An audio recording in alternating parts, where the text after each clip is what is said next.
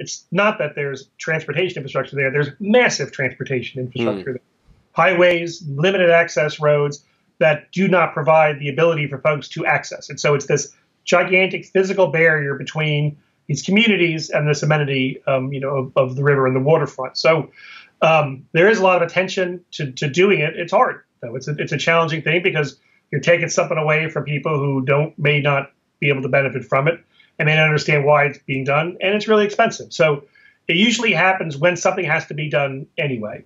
Um, and the places that do do it really don't ever regret it because I, I can heart cannot think of an example where they've opened up the waterfront to um, to uh, to human access by taking down the transportation infrastructure, not getting rid of it, but maybe just resizing it or right sizing it where it hasn't worked, right? So, I mean, New York does not regret taking down the West Side Highway.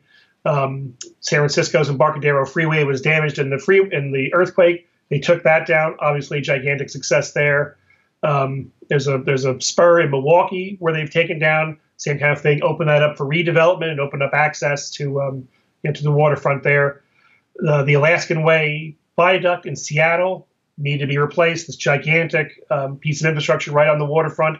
They took that down, turned it into more a, a boulevard and a tunnel. Super expensive, but it's going to be a huge benefit for for that city, and also has all kinds of economic benefits as well. And there's a bunch of places that that haven't done it yet, but but people want to, in Buffalo and in Detroit, Tacoma, Washington. There's all kinds of these freeways that are in Trenton, New Jersey. It's a great one. It's right on the right on the water right there.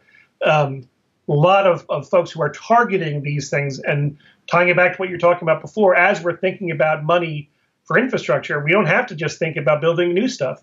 It'd be perfectly legitimate and probably really beneficial for a lot of places to use that money to actually take the infrastructure down, uh, especially the infrastructure that's obsolete or, or infrastructure that was built for a different generation, especially if you have this benefit of opening up the waterfront uh, and making it a great amenity for, for people and for places.